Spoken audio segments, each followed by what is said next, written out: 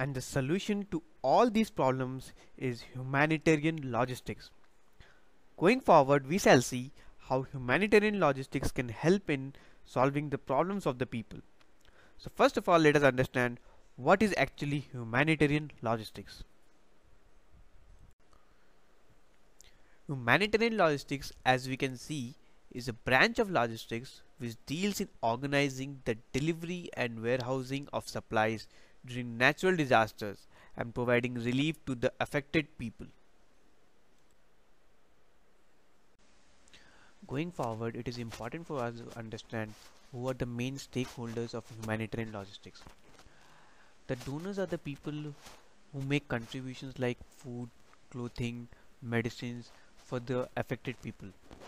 The aid agencies and the NGOs are instrumental in collecting them and uh, depositing them at a distribution center. The governments and the military are the people who aid in providing uh, these collected material to the affected people. The logistics providers of course are the ones who help in transporting them. There are very uh, famous humanitarian organizations who have been helping the people in these natural disasters. They are American Red Cross, Care USA, Catholic Relief Services, UNICEF, Save the Children, International Committee of the Red Cross, and World Food Programme. Now we shall see how the distribution of relief material is carried during post-disaster. The NGOs which collect relief materials from various donors gets an order for humanitarian commodities from the government of affected countries. Then after consolidation and documentation, they send the relief material via air, ocean to the affected area. After custom clearance, it reaches the place by trucks where it is unpacked and sorted and then uh, then distributed to the affected people by the military people of that country. This relief material then provides relief to the affected people and saves their life. Now we shall see what are the phases in disaster management.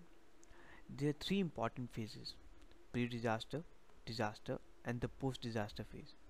In the pre-disaster phase, we first do assessment of the different areas which are prone to natural calamities. Then we do the planning in which we plan out how much food, medicine might be required in case of a natural calamity. And then we do, do the training and education of the people living in the nearby areas such that how should they deal in such kind of situation.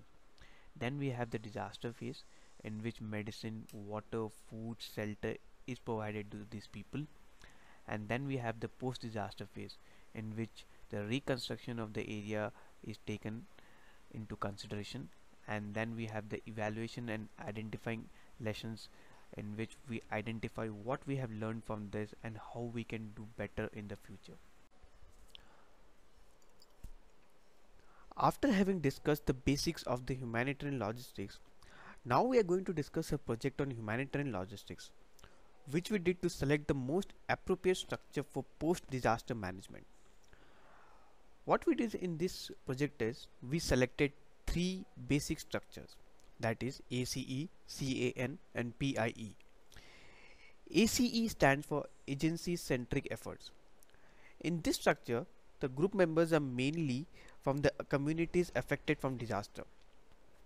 In PIE, that is partially integrated efforts, some group members are the local ones, that is who are affected from the disaster, but majority of them are for NGOs, international organizations who provide aid to the affected people.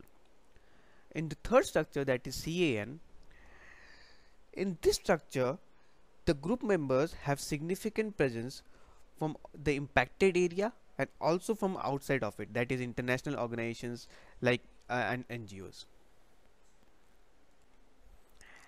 Having selected the structures then we selected the parameters on the basis of which we are going to evaluate these structures. These parameters were selected after having a discussion with the experts on this particular field. We held a brainstorming session with them. The parameters which were finally decided were speed, agility, adaptability, decentralization, resilience, alignment, information system and resource availability. These parameters were considered to be the most important to help the people during post disaster. Next what we did is we had a brainstorming session with the experts and assigned weights to each variable in each structure and then solved it through AHP that is analytical hierarchical process tool which is a multi-criteria decision making technique. The results that we got is out of the three structures ACE, CAN and PIE CAN scored the highest points as compared to ACE and PIE.